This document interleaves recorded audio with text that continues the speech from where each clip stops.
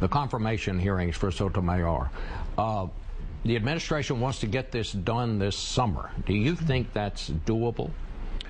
Well, I really don't know yet. She she has a very long record, and what they are trying to do is to insist on the shortest time frame uh, for someone who has the longest record of any Supreme Court nominee that we've considered in recent times. I think what we ought to do is read all the cases, 3,600 cases. Uh, Chief Justice Roberts only had 320. Read the law journal articles work our way through this and um, let the facts lead us Do where you, they may go. My sense of it is you, at this point, don't have the votes to stop this confirmation, that, they, that it is going through.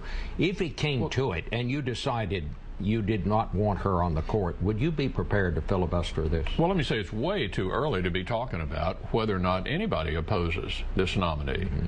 Uh, I have consistently opposed filibustering judges, did it during the Clinton years, but I lost that fight.